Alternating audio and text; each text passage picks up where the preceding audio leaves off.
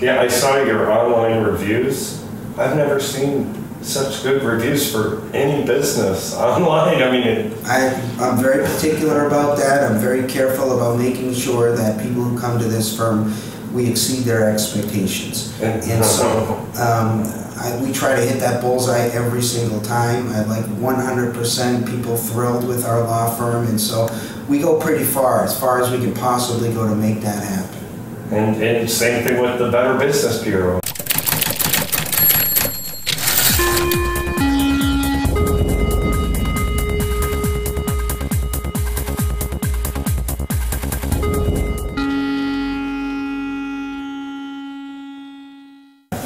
Nice to meet you, sir. Nice to meet you too. I came out to uh, listen to you. Um, I brought my uh, cousin with me and we went out to the university here and we listened to you about uh, pulling people over and what to do, what not to do. I found it very inspiring. I thought it was kind of interesting that you're in the business of helping people with their legal troubles, yet you were out there, I assume you weren't making any money, you were just out there uh, educating people how not to use your services. Yeah, that's true. I do that a lot, actually. That's pretty neat. Um, and that makes you very unique. But it seems like, you know, looking at your office and everything, that it, the, the, it pays off.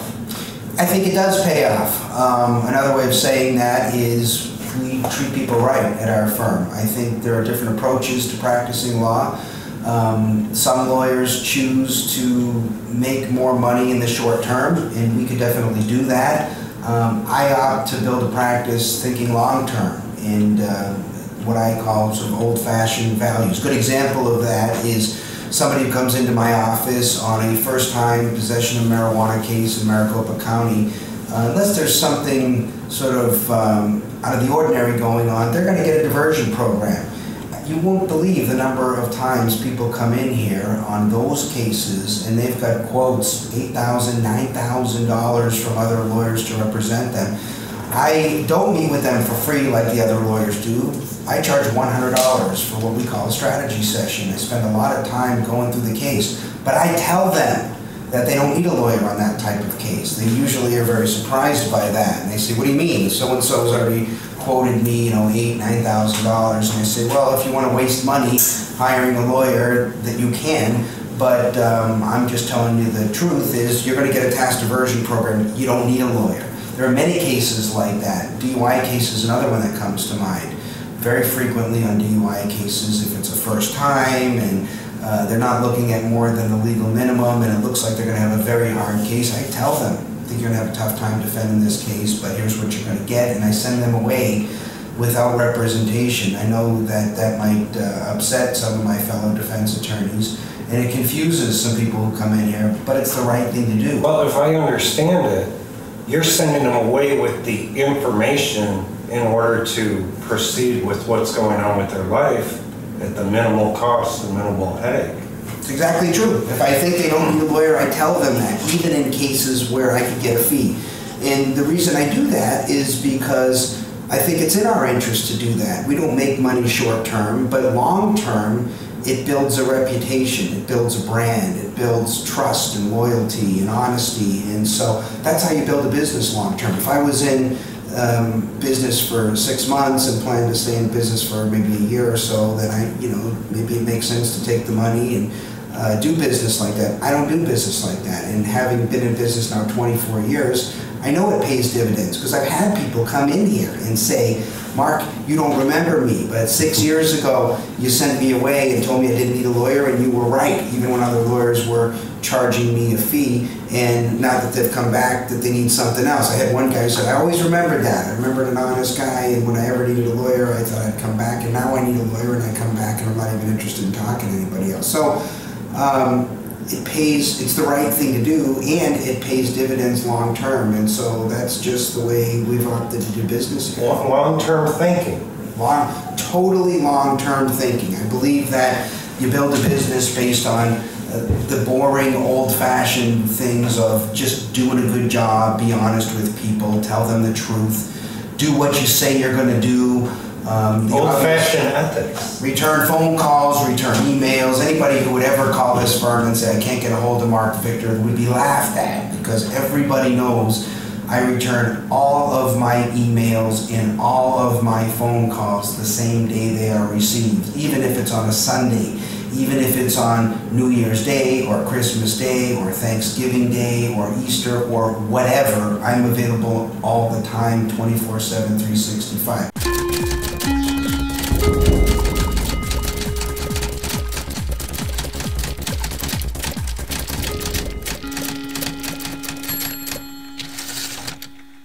Aside from, uh, obviously it's a business, but aside from any financial gains, what kind of personal gains do you get from being a workaholic and being so ambitious and helpful to people in the way that you're describing? Well, you have to start by doing something you like.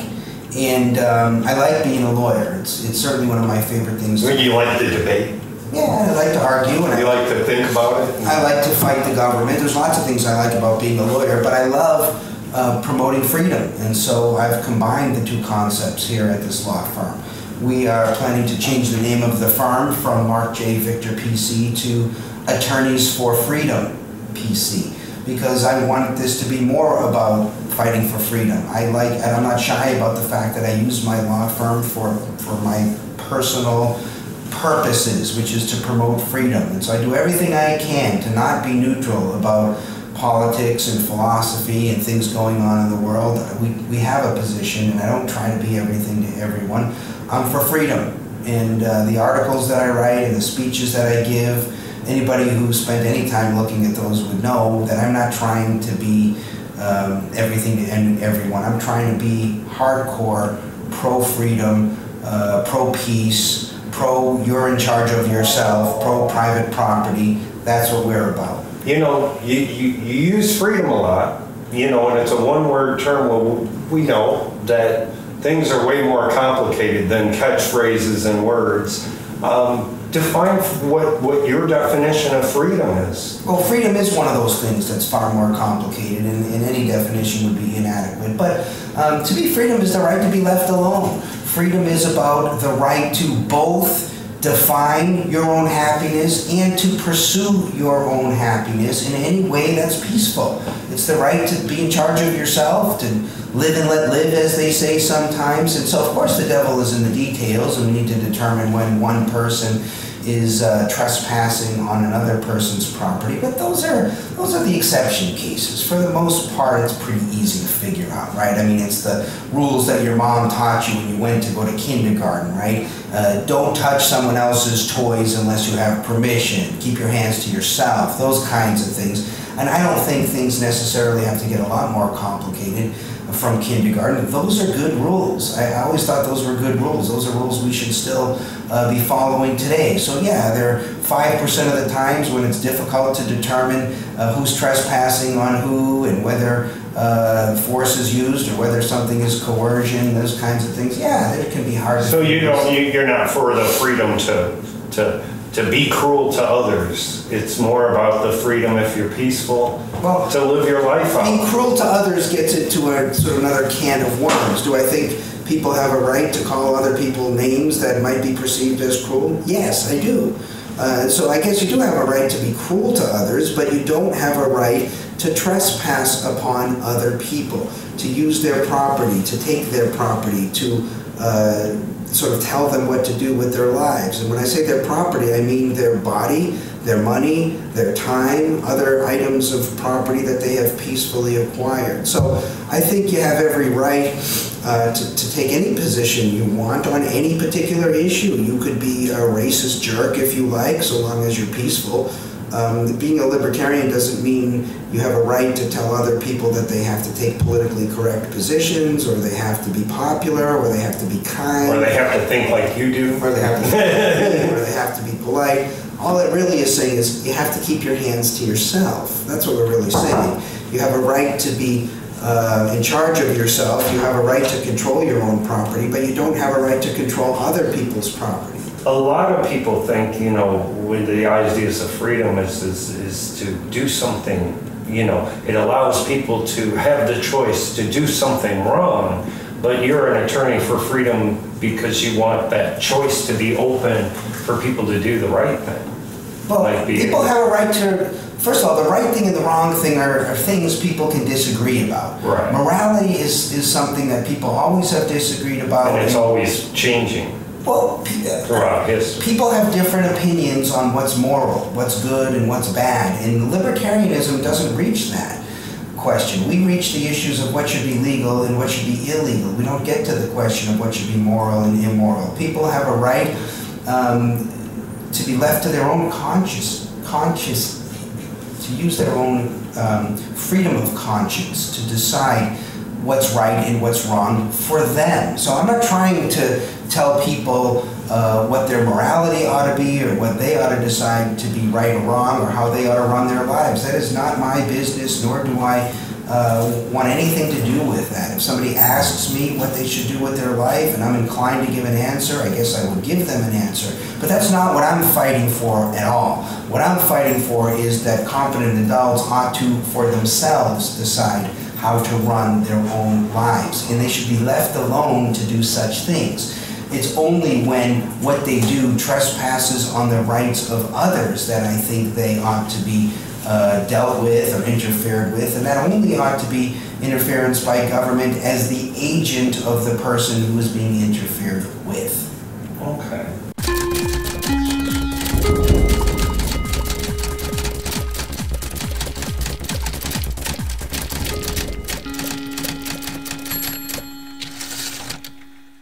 Where does your, you- where do you, where do you get inspired for your critical thinking, questioning authority, and, you know, your logical conclusions? Well, um, I didn't never heard the word libertarian until I went to law school and met Butler Shaffer, one of my professors there, and he uh, sort of deconstructed the whole thing for me and really got me started down this path. I'm uh, I'm enthusiastic about it, and it's a passion of mine because I believe very strongly that probably 80% of the ills that we deal with in the world are easily resolved. We have, we're creating our own problems, and then the same people that have created the problems are now trying to posit solutions for us. If we just adopted a free society and we allowed capitalism and freedom to do their thing, we wouldn't have these problems. Standards of living would rise. And uh, I also believe that uh, our healthcare crisis is just as much a function of the government feeding us misinformation about what's healthy and unhealthy for us to put in our bodies. I think people now eat with reckless disregard for their health. And why should they? Because they are able to subsidize those bad costs, the big costs of eating as poorly as they do onto other people. If people had to take responsibility for their own health care and maybe paid for their own health care, maybe there'd be a percentage of people who spent a little bit more time thinking about what they're actually ingesting and going to get some exercise and being preventative about what is wrong with our bodies rather than just simply reactive. I mean, we have such an epidemic of obesity because we eat nothing but processed food, fast food, high sugar foods, high carbs, and we get fat. And then we have the accompanying health problems that now the government, uh, which has uh, give, which gave us the the food pyramid and all the wrong information at the beginning about what we should be eating. And if you look at public schools, they get pizza and soda and candy. The same government that's feeding our kids the junk that they're eating is now trying to present solutions for the healthcare mess that we're in. Maybe we could solve both problems by getting the government out of the. But from my perspective, what I just heard is that they created the problem and they're offering solutions that not really ultimately help the problem but make it worse. Like so many of these problems, right? Yeah, it seems So many of the military issues we've got, the war and peace issues around the world are created by the government, and now they posit to solve them. The economic issues were created by the government, and now, I mean, look, we're off. We don't. We have fiat money. We have money that's not connected to anything. We have paper money that the government just prints as much or little of it as it wants. We've completely turned over the, our economy to the government, including the money supply. Shame on us for not paying attention. Well, the government took us off the gold standard and forced everybody into uh, government schools, or the most kids into government schools, and now has taken over the healthcare system. And the more and more things that government takes over, the more and more problems that we find. Maybe we ought to look and say, instead of looking to government for the solution, maybe we ought to do what Ronald, adopt what Ronald Reagan said: government is the problem. Government is the problem, not the solution. And yet. Um, it, it, appears in many areas we're still going in the wrong direction there. Although I'm optimistic long term, I think people are starting to figure out um, that really, uh, like for example, on the drug war, people are starting to figure out that, that marijuana needs to be legal, and soon we'll move into other drugs as well.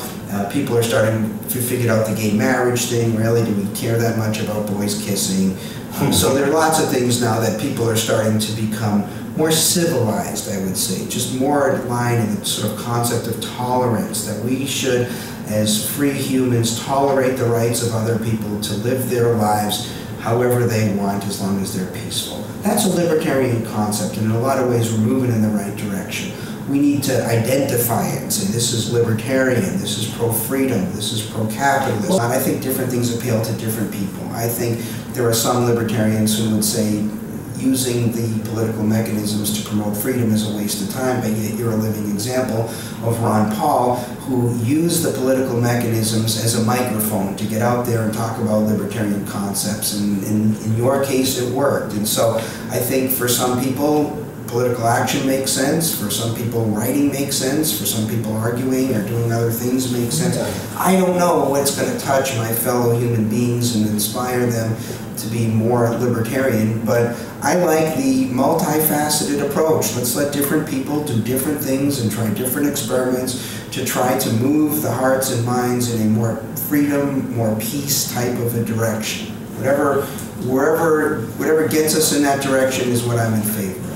Do you think those people are a, a, a small fraction of society in your 20 years of being a defense attorney, or do you think the larger majority of the population would be a little more responsible or respecting other people's freedoms? Well, it's an interesting question. On I've noticed in my time on the planet that on a one-on-one level, human to human, most people act mostly libertarian. Most people get the idea that they don't reach and steal somebody's wallet out of their pocket or uh, when someone's invited into someone's house, probably they recognize it's bad form to take their property and walk out the front door. Kind of like the golden rule kind of thing? Most people act mostly libertarian on a one-to-one basis. We do have a, a, extreme minority of people who just like to violate the rights of other people and we have to deal with them in a criminal justice system. But for some reason, when uh, we, we use the word government and we have this fiction, and uh, that there's this sort of greater concept of government. And when people en masse start voting to use the property of other people, they don't perceive that the same way. Somehow, uh, a theft that's normally not permitted becomes permitted as long as the majority of people agree to steal. I don't agree with that. I think theft is theft, and theft remains theft even if the majority of people agree, even if uh, part of the proceeds of the theft will be used for good purposes, uh, feeding starving children somewhere in the world, and even if some of them are eventually returned to the person who is stolen from, none of that justifies a theft. A theft is a theft, and it's a theft whether it happens at the point of a gun or a point of a voting booth. Either one, they're theft to me. It doesn't change the concept of theft, and I'm against theft. I'm against trespass. I'm against fraud. Yeah, I have had a, a friend who you know, uh, would have these kind of values. You know, we should ban guns, but we should also pay for education and we should do all this. In other words, she expected that uh, everyone should just be for charity, and her form of charity was to send money to the central planner and then have them decide how to do the charity. I found it to be more rewarding to do it by choice. Well, people who take these types of positions and say, well, I think we ought to, you know, uh, pay for people's higher education or something like that, I always say, well, feel free to send your money. yeah, exactly. So they're not, they're not really, they're saying something different. They're not right. really saying, I think we ought to fund this or that. What they're saying is, I think I ought to be able to get other people who don't want to fund such things to, through the force and coercive mechanisms of government, to get them to fund things that I've decided are important. But I don't think anyone has a right to spend anybody else's money. Period. It just comes down to that. I, I understand there are good arguments. People may say, Marc, I think you should spend your money on this, that, and the next thing, and here's why. And all these reasons. They have every right to try to persuade me to spend my money on things, as I do with other people, no problem. But at the end of the day, if somebody has persuaded me, or failed to persuade me, or I failed to persuade someone else in terms of how they should spend their money, I think that ought to be the end of it. I don't get to then force them to spend their money in ways that I think are more important than the owner of the money thinks. That doesn't make sense to me, and that is not compatible with what I think a free society is about. A free society is about people being in charge of themselves in their own bodies and their own money. So uh, I don't think we ought to all be in charge of each other's money. That doesn't. That strikes me as a socialist concept, not a capitalist concept. Okay, with that. Uh capitalism. A lot of a lot of times I hear that the problem with our current economic system is that we live in a capitalist society. My point of view is that looking at it objectively, you know, most countries around the world are mixed in socialism and capitalism. Well, I mean, they're, they're all mixed bags. Um, and I would just say it like this capitalism is the economic system that is compatible with a free society because capitalism recognizes the right, uh, acknowledges the right of the owner of the money to make decisions about to trade or not to trade. That's called the free market. And so the free market capitalism is what's consistent with what I'm talking about in terms of a free society. Um, but I don't know why this is still a, a, source of confusion for people. Yeah, I don't either. It seems to me that wherever you look all over the world, if you find a freer economic uh, system, like here, we have a mixed bag of capitalism and socialism, but we have more capitalism than other places. And so, to the extent you have capitalism and to the extent you have a free society, you have a higher standard of living. I don't know how many times we need to look at the same situation. We can look at East Germany and West Germany, right? We can take the same, exact same group of people in the exact same geographic area, chop it in half, and uh, seal them up, and then open them up after a period of several decades, and let's just see how they're doing. So you're interested in raising standards of living. Freedom and capitalism gets that done. That's the reason why, in my opinion, the United States is the world's superpower. It's not because we're luckier or we love our children or we have some special work ethic or anything like that. It's because we've had more freedom relative to other countries, and so because we've had we've done a better job with capitalism and we've kept uh, church and state relatively separate, and we've done a better job allowing people to start businesses and invest their money and control less of the economy through the wasteful mechanisms of government than other countries. We've done better. I think we could do much better than we've done so far. I think we could have even more capitalism and more freedom and raise standards of living even more.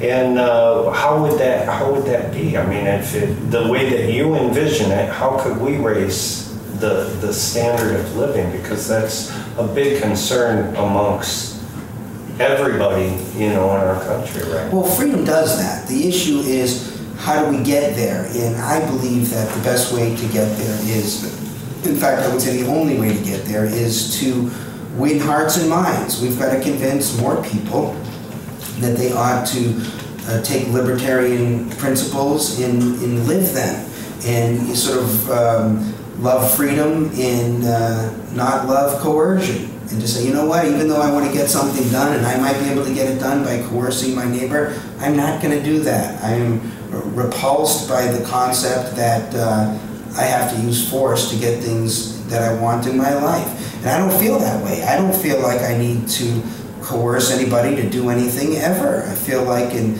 I can get along in the world just fine making voluntary agreements with my fellow human beings and there's no reason I need to be able to coerce anybody into anything. I want to be left alone. I don't want people coercing me, but I don't feel that me repelling another person's trespass upon me is me doing something improper. That's self-defense. And so we just need more people to internalize in their hearts and in their minds freedom and, and give up on this sort of big brother paternalistic stuff that has really um, sent our country in the wrong direction. All we need is freedom. That's what the founding fathers of our country were intending to set up. They weren't all of one mind, but they understood that self ownership was important and sort of bottom up thinking was more important than sort of top down, tyrannical type governments imposing laws and rules and regulations on everyone. So I think we need to get back to our roots and get back to the concept of a free society, and that, that means winning hearts and minds. Okay. And that means actually respecting the freedoms of others, and it's not the ones that, that Not- you care about. Absolutely. You have to be big enough to respect the rights of other people to do things that you don't approve of, but that are peaceful. And until we can get there, we're not making any progress in terms of a free society.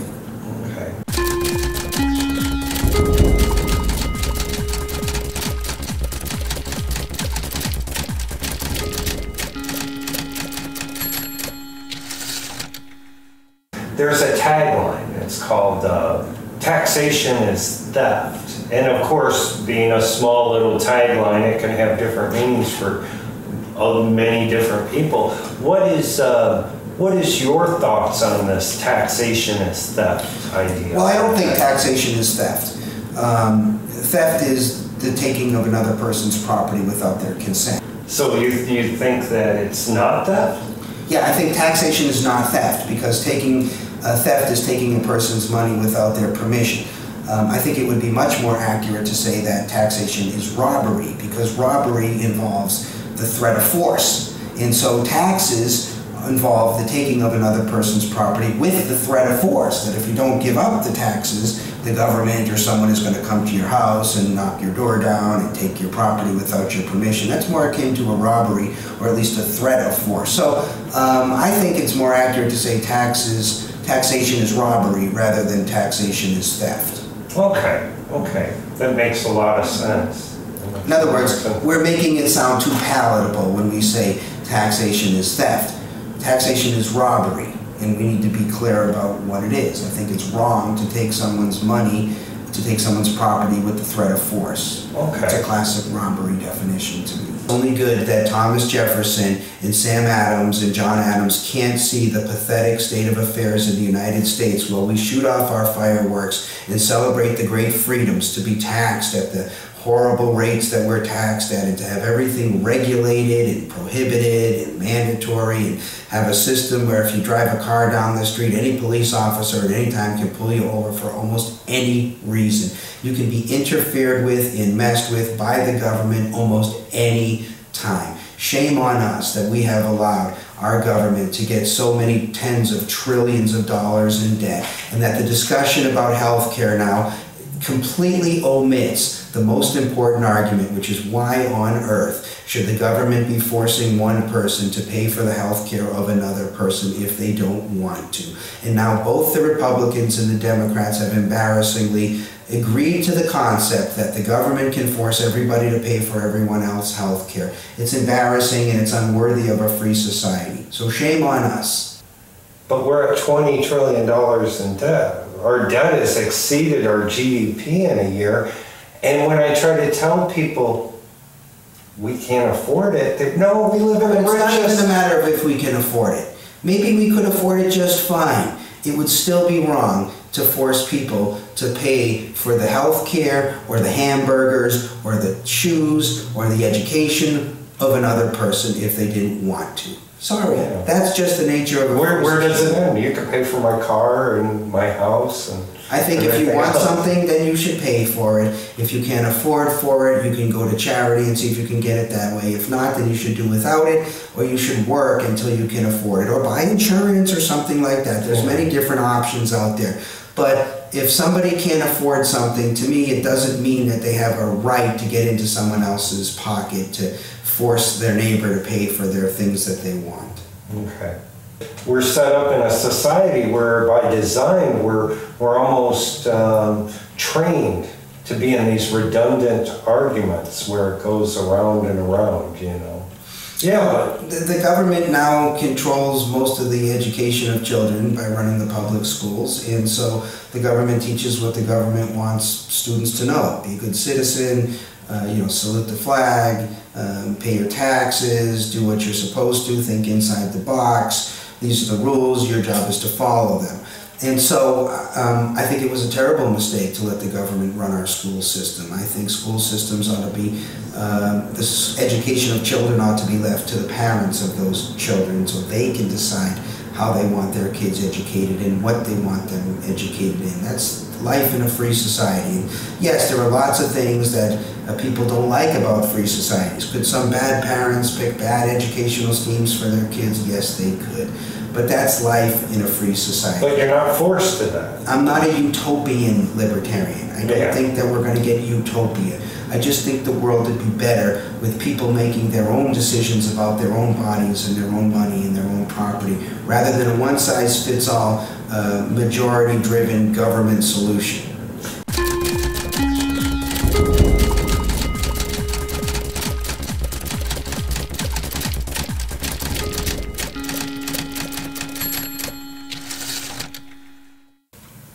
Is there like a philosophy or an importance that you see in, in having a society of uh, our constitutional right to bear arms? I don't fault people in a free society who opt not to have guns. They have every right to not have a gun, just like a business has every right to put a sign up that says no guns allowed. And then we as consumers have every right to opt to go there or not to go there based on their policy. So freedom doesn't necessarily mean that everybody's going to go out and be a gun owner. It means that competent, peaceful people who choose to be a gun owner can then go out and then competently and peacefully keep their firearm. That's what makes sense to me. It doesn't mean that uh, we have to have some push to get everybody to have a gun anymore than it means that if, if marijuana is legalized, that everybody needs to go out and smoke marijuana. I think uh, people who hate marijuana could advocate consistently that marijuana ought to be legal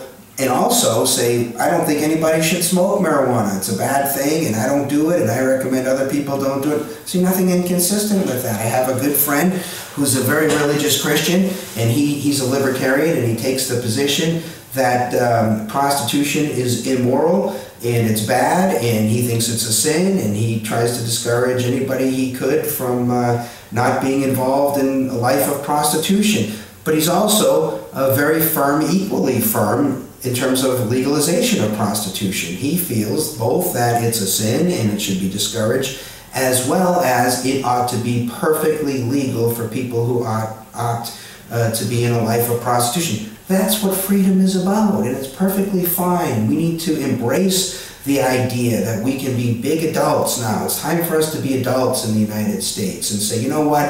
I'm for the rights of other people to do things that I don't do myself and that I don't agree with. But I, because I'm for freedom, I respect their right to do it peacefully. When we can get there, then we deserve a free society. Until then, we're like a bunch of whining babies looking to the government to give us another link on our chain. guess I'm just trying to boil it down for those people that quite pervert this idea of freedom. You know, they misunderstand the great value in it. And I think for me, the value in it is if I'm living my life peaceful, I should be left alone. I think everyone should agree with it. I think it's know? a very important point, and um, people who are concerned only about the freedoms that they personally enjoy, to me, aren't really freedom activists at all. And I make this point all the time. When I talk to the pro marijuana people, I like to talk to them about uh, that they're for marijuana and that they smoke marijuana isn't so impressive to me. Um, It's not really a good thing. It doesn't, Well, I mean, doesn't okay. fully benefit I'm happy you hundred percent. I'm happy for their that they're for legalized marijuana, but that don't strike me as a, much of a freedom person unless they're for something that they don't do. Uh, like for example, I like to ask the marijuana people how they feel about gay rights. I like to ask the gay crowd how they feel about marijuana smoking. I like to ask the gun crowd about how they feel about other things. I like to ask the gay crowd how they feel about guns. So the issue isn't uh, we need to get away from this concept of we're only trying to promote and fight for the freedoms that we personally enjoy. We need to be bigger than that. We need to get to the point of do we fight and defend the rights of other people to do things that we don't do, or even better, uh, things that while still peaceful are uh, we find immoral, unhealthy, wrong, uh, bad, unwise, something like that. You- Are you big enough to stand up for the rights of other competent adults to do those peaceful but in your estimation, unwarranted things. If you can do that, then I see you as a, as a freedom activist. Okay. It's kind of like the uh, person who's pro-gun, but they don't understand how the same basic concept of why they think they should, could have a gun and, and use it appropriately and be responsible with that weapon doesn't understand the drug laws or the problems with our current. I, I, think, in the case of guns, I think competent adults ought to be um, free to have whatever weapon they want, so long as they're competent with that weapon and they can store that weapon in a way that doesn't endanger other people. Um, I don't see what the issue is. Free people ought to be left alone so long as they're peaceful and safe and don't pose risks to other people. If uh, you know some guy who's drunk and reckless walking down the street with a gun, I will not necessarily respect that person's right uh, to pull out their firearm and start waving it around. They're not competent at that point. So um, it's the same with all these things. You know, I, that's why I don't reach the issue of whether or not marijuana is harmful or not because it doesn't matter to me. Competent adults get to put things in their body even if they're harmful. We do that all the time, right? Alcohol is pretty harmful. I think uh, red meat is harmful. I think dairy is harmful. Cigarettes. Cigarettes are harmful. Lots of things are harmful. I don't think the purpose of life is to avoid things that are harmful or unhealthy. And I certainly don't think that's the purpose of government, to keep us away from things that are unhealthy. I think competent adults have a right to control their own bodies, and that includes the right to put unhealthy or unwise things into their bodies. Well, what do you think about the um, solution that we currently have in our country to deal with these problems of addiction? We don't have any such solutions that I'm aware of. Political solutions aren't really solutions. Um, and the problem of addiction really is a function of the person who's the addict. Um, that somebody else thinks uh, another person has a problem with a substance isn't really relevant to me.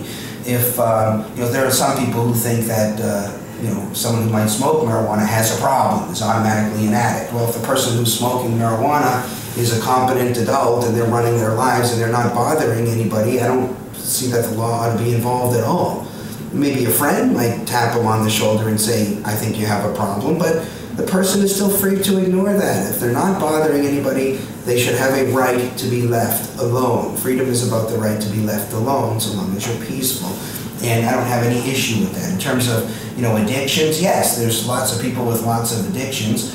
Um, I think that if we wanted to take a stab at having fewer people addicted to drugs, we could certainly end the drug war and make it much easier for people who are addicted and who want help with such addictions to come forward without fear that they're going to be helped by putting, being thrown into a cage like an animal for possibly many years of their life. Who, who benefits from, you know, our war on drugs? Who, who there are- ultimately benefits? There are many people who benefit from the war on drugs. For starters, all the drug dealers benefit from the war on drugs. The cartel benefits from the war on drugs. I get to talk to drug dealers all the time. I have frank conversations with them all the time, and I ask them about the drug war, and every single one of them uh, would like the drug war to continue because they all know that if the drug war ended, so would their profession in terms of being an illegal drug dealer. So they benefit. People who are in law enforcement, people who are in the prison system, and benefit from more bodies being collected and then processed through the system and uh, ultimately parked in, in jail and Are you suggesting like a cash cow kind of situation? Well, look, it's a big business. Running the drug war is a big business. There's $69 billion in it the last time I looked annually, and that grows all the time. And so the people who are benefiting from that money obviously want to keep the drug war in place, but they're making money off of the backs of putting uh, peaceful people in prison. And I think that's disgusting, which is one of the reasons that I'm for ending the drug war. I'm also ending for lots of business that comes into this law firm, right? We get a lot of work from people who are charged with drug crimes. I'm willing to give every single bit of it up to end the drug war because freedom is more important than money, period. It seems like uh, I've heard statistics where the much larger majority of the people in prison are, are in there over nonviolent crimes. And when I mix that in with the private prison complex that has taken over our country, it's kind of a scary concept if, you know. Well, it is, especially where we have this lunatic Attorney General um, Sessions now who is trying to ramp up the drug war. Yeah. I mean, that, that is scary. I think that's outrageous. I think that it's very difficult to be the land of the free while you're the land of the incarcerated. So we should be embarrassed at the incarceration rates in our country. Uh, it's an emergency to get our fellow peaceful brothers and sisters out of prison and to end the drug war immediately. To me, that this is an emergency. It's a crisis. It's something that needs to end immediately. A lot of people are in this mind frame. We got one side of this good question. Let's solve the gun problem by making guns disappear. We'll just crack down on anyone who has a gun. And it's the same, it seems like that's how they're dealing with the drugs. Let's just make the drugs disappear. And it seems like to me that both of those issues, their solutions, creating way more of a problem. Yeah, I mean, these are failed uh, efforts. It's like trying to pass a law that says, you know, let's just make the crime disappear. It just life doesn't work like that. And so, um, both of these are failed. The drug war has been a colossal, by any measure, asking any person, I don't know how anybody could conclude anything other than the drug effort that this country has engaged in since the late 60s has been a complete, total, 100% failure. It hasn't stopped anybody from using drugs, it hasn't curbed addiction, it hasn't stopped the crime, it has done nothing but create a black market industry and blurred the lines about what it means to be free. People don't understand what it means to be free. We're great at singing songs about freedom, we, we love to jump up and down and clap our hands and shoot off fireworks on July 4th, but you don't have freedom if competent adults aren't in charge of their own bodies. So for all those people who love to celebrate the 4th of July, and also are for the drug war, I would say they have no concept of freedom. They're confused and they're an embarrassment to America. If America is the land of the free, the land of the free in a drug war are just simply completely and totally incompatible. Also, the people who want to ban guns, simply banning guns in a free country, those two things don't go together making sure that people are responsible with guns, making sure that people who aren't competent can't have guns to the extent we can even do that, and I'm not really sold that we can do very much in that area, but I don't have any problems with laws that prevent incompetent people uh, from having guns, people who, that try to prevent people who are violent and have shown that they can't play well with others away from guns. Fantastic. But we need to deal with the reality that such people still get guns. Just because we pass a law outlawing something like murder, for example, we've had laws in the books uh, making murder illegal, we still have murders. We need to recognize that bad guys will still get guns. And, and, we all know the way to stop a bad guy with a gun is a good guy with a gun. They don't just go away. We can't you know, wish them away. We can't ask them to stop shooting and killing people. It's very difficult to um, you know, hope that you're going to get a baseball bat, stop somebody with a gun. The way to stop them with a gun is to get a gun and shoot them and stop them from killing other people. And so I like the fact and I like the idea that competent, peaceful adults have guns. I wish more competent, peaceful adults had guns out in society so when the bad idiots with guns show up, we can stop them more readily. I was taught we live in a democracy way to get rid of way to get rid of gun violence, get rid of guns. I believe that. Moved out here, it took me about three, four, five years, maybe even longer before I realized the big difference. Now I'm in the, the least restrictive state, you know? And um, there's a lot less violence. I feel a lot safer in this in this state. Um, well, I mean, I think it's good to come to Arizona, and I, we had some exchange students here from Poland not too long ago, and gun ownership is completely foreign to them. But I said, you know, here you can, if you're a resident, you can go buy an, an assault rifle, and I know that's not the proper term for the AR-15, but right. that's the term that the press has used. You can buy one of the big, scary assault rifles and uh, you can pay cash and you cannot fill out one piece of paperwork and not have a background check and not have a waiting period. And um, that's incredible that some people don't even realize that. And yet it doesn't doesn't cause any problems at all. You come to arizona you won't feel any less safe than you feel in uh, washington d.c or illinois where they have all these restrictive gun laws. And, and in fact uh, we can pretty conclusively show that the gun violence is much higher in the states that have the more restrictive gun laws that doesn't surprise me at all. The issue isn't the gun.